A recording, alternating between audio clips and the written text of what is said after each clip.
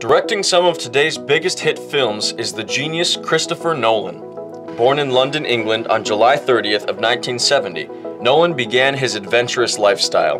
With his mother from Chicago, Illinois, and his father from London, England, Nolan grew up traveling between the two countries and their respective cities. To further his education, he attended University College London to study English literature. While at the university, Nolan joined its Film Society. Through the Film Society, Nolan created many short films in college, such as Tarantula, Larceny, and Doodlebug. After college, Nolan started making small independently produced or indie films. Finally, Nolan began his film career with his first full-scale production called Following. Since then, Nolan has been involved in the making of several hit films such as The Dark Knight, Inception, Memento, Interstellar, and The Prestige. And here we go.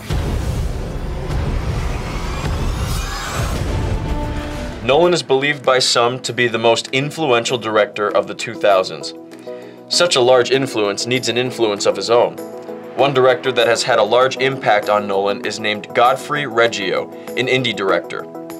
Along with Reggio's work, Nolan was largely influenced by many films including Blade Runner, The Spy Who Loves Me, 2000 A Space Odyssey, and The Thin Red Line. Most all of his fame can be credited to his rebirth of the DC Batman film franchise with his career-launching production, Batman Begins. However, the success of Batman Begins cannot compare to Nolan's first box office hit sequel, The Dark Knight. In 1997, Nolan married his wife, Emma Thomas. The happy couple had three sons, Rory, Magnus, and Oliver, and one daughter, Flora.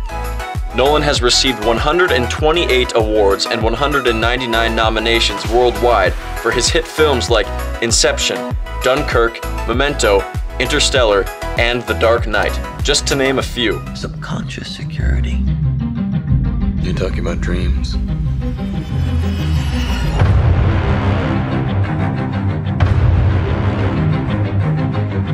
Mr. Cobb has a job offer he would like to discuss with you. What kind of work placement? Nolan is still making hit films such as the recent Man of Steel, Interstellar, and Dunkirk.